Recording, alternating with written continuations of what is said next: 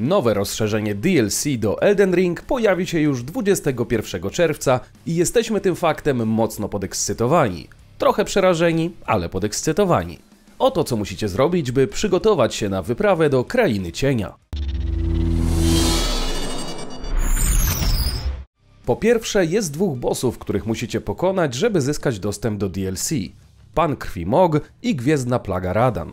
Jeśli graliście już w podstawkę Elden Ringa, to prawdopodobnie macie tego drugiego za sobą, ale na wypadek gdybyście chcieli sięgnąć po grę po raz pierwszy, oto jak ma się sprawa z Radanem. Radana można znaleźć na zawodzących wydmach Keilit i pierwszą rzeczą, która rzuci wam się w oczy, jest to, że jest bardzo, bardzo duży. Nie będzie zaskoczeniem, jeśli powiem, że oberwanie od tak potężnego gościa naprawdę zaboli. Ale dobra wiadomość jest taka, że wokół rozsiane są znaki przywołania, dzięki którym możecie wezwać do pomocy szereg różnych postaci niezależnych. Jednak nawet przy wsparciu sojuszników i tak jest to trudna walka, więc warto wcześniej zebrać trochę run. Mog, którego spotykamy w końcowej fazie gry, jest jeszcze bardziej skomplikowanym bossem i skrywa się w tajnej podziemnej lokacji zwanej Pałacem Mogwyna. Samo dotarcie do niego może być trudne, choć istnieją dwie metody. Jeśli udacie się do różanego kościoła w Liurni i podejmiecie się misji od Vera, polegającej na trzykrotnym zaatakowaniu innego gracza w trybie PvP, zostaniecie nagrodzeni przedmiotem, który przeteleportuje was do pałacu. Alternatywnie możecie wspiąć się na szczyty gór olbrzymów, gdzie znajduje się sekretna brama teleportująca. Którąkolwiek drogę wybierzecie, czeka was całkiem wymagająca walka, więc jeśli jesteście nowicjuszami w grze, lepiej nie pchajcie się tam od razu.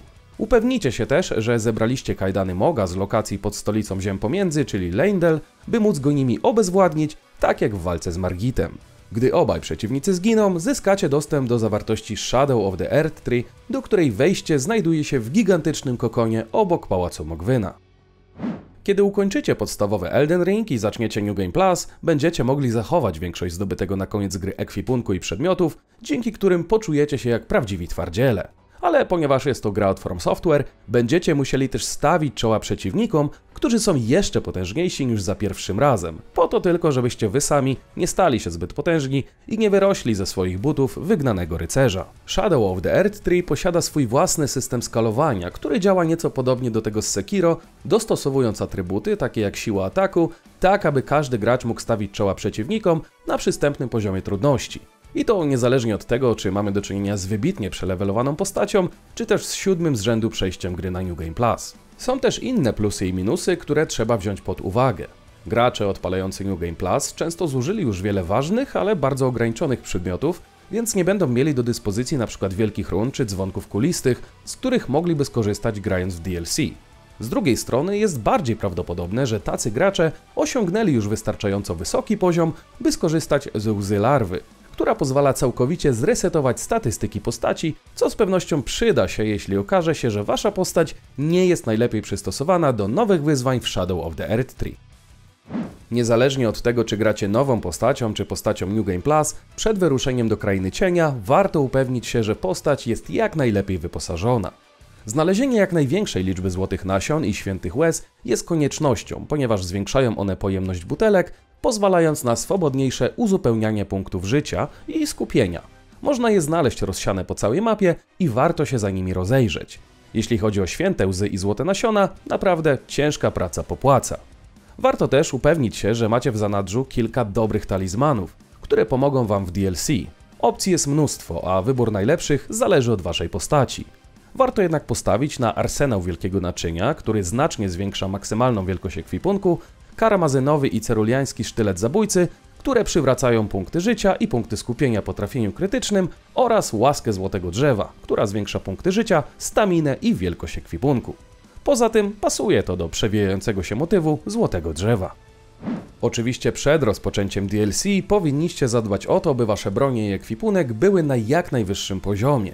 Jeśli wbiegniecie tam dzierżąc tylko podstawowy miecz, wyjdziecie na głupich i martwych. Najlepszym sposobem na szybkie ulepszenie przedmiotów jest odnalezienie różnych dzwonków kulistych. Dajcie jeden z nich cieniom bliźniaczej służki w twierdzy okrągłego stołu, a w zamian będziecie mogli zakupić wszystkie potrzebne materiały do ulepszeń. Zebranie dzwonków przed rozpoczęciem DLC jest szczególnie dobrym pomysłem, ponieważ Shadow of the Earth Tree obiecuje wyposażyć graczy w całą masę nowych, śmiercionośnych zabawek, w tym 8 zupełnie nowych rodzajów broni. Mówi się, że jeśli chce się zajść daleko, trzeba iść w grupie, więc dobrze jest zaopatrzyć się w kilka dobrych prochów duchów, zanim wyruszycie na nieznane obszary DLC. Jest w czym wybierać i warto poeksperymentować, by znaleźć najlepsze dla siebie przyzwania, ale zdecydowanie warto zajrzeć do Nokronu, by zgarnąć łzę naśladowcy, która tworzy dokładnego klona waszej postaci, włącznie z jej aktualnym uzbrojeniem. Jak już tam będziecie, możecie też złapać prochy tarczownika. Banda uzbrojonych w tarcze żołnierzy świetnie sprawdzi się jako osłona, gdy zrobi się naprawdę gorąco. Ulepszanie prochów duchów też jest bardzo ważne i podobnie jak w przypadku broni, możecie znacznie usprawnić ten proces, zdobywając dzwonki zbieracza konwali, które pozwolą Wam kupić wszystkie potrzebne konwalie. Z pewnością przydadzą się, gdy w krainie cienia natraficie na nowe, błyszczące prochy duchu. Runy to kolejna rzecz, w którą musicie się zaopatrzyć przed wyprawą, ponieważ są one niezbędne do levelowania, ulepszania ekwipunku i generalnie napędzania całego procesu ciągłego samodoskonalenia, który tak naprawdę jest sednem Elden Ring. Dobra wiadomość jest taka, że Pałac Mogwyna, do którego udacie się, by zacząć DLC, jest doskonałym miejscem do farmienia run. Przypadek? Nie sądzę.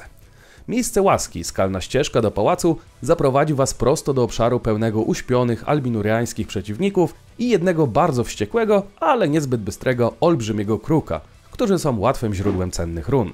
Żeby przyspieszyć cały proces, możecie też zdobyć talizman Złotego Skarabeusza, pokonując rycerza czystej zgnilizny w opuszczonej jaskini w Keilid. Zwiększa on współczynnik run o 20%, co jest całkiem dobrym wynikiem jak na błyszczącego robala znalezionego w jaskini.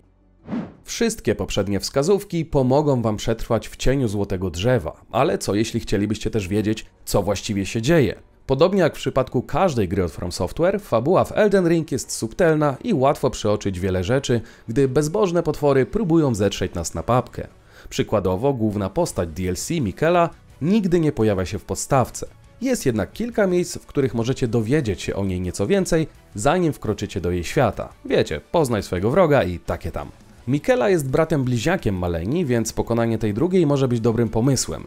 Co prawda łatwiej powiedzieć niż zrobić, ponieważ jest ona jednym z najtrudniejszych bossów w całej grze, ale skoro twórcy obiecali jeszcze trudniejszych adwersarzy w Shadow of the Earth Tree, to równie dobrze możecie już zacząć ćwiczyć. Zamek Sol to kolejne dobre miejsce do rozejrzenia się, ponieważ ten opcjonalny dungeon skrywa kilka ciekawostek na temat zwolenników Mikeli i planów wskrzeszenia go. Zdaje się, że to całkiem istotne z punktu widzenia historii.